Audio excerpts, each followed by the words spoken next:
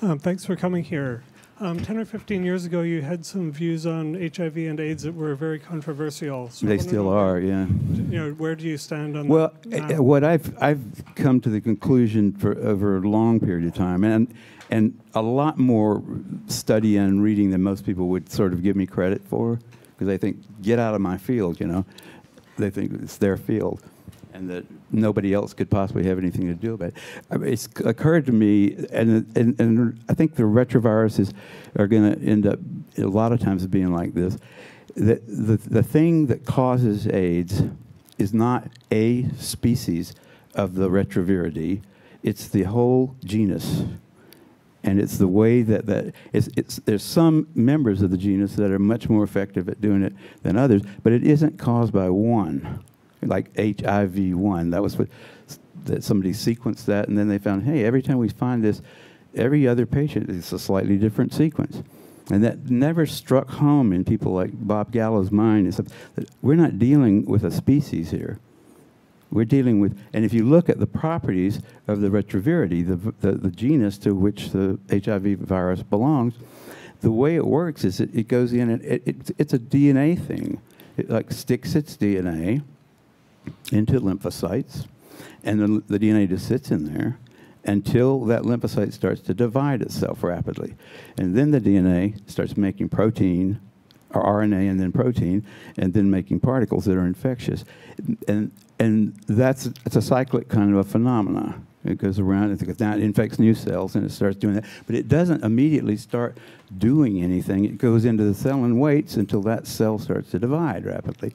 So what that translates to in the immune system is that once a, a, a, a sequence, because those sequences mutate really fast, because reverse transcriptase is involved in their replication, and, and that makes mistakes at 100,000 times more often than like DNA polymerase does. So there's a real, that, that genus is very, very heterogeneous inside of it. And, and what's happening is you get a, a sequence that, that starts replicating itself. It makes some mistakes. It, it, it infects other cells. It sits there and waits. Most of the time, it's just a piece of DNA. It's ridiculous to fight it at the only at the time when it's proteins and it's infectious particles.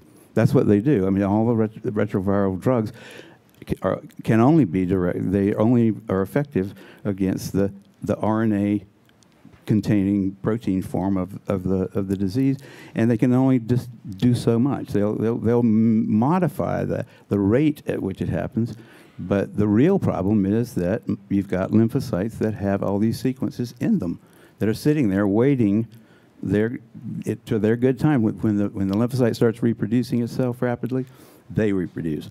When it's not, they don't. So you can't kill it by stopping it at the protein level.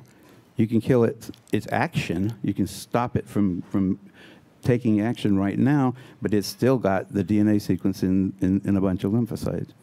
So until we figure out how to deal with that problem, I don't think we'll have a, a, useful drug against any of the retroviral. They're coming up with new ones. There's new things that have been blamed on retroviruses.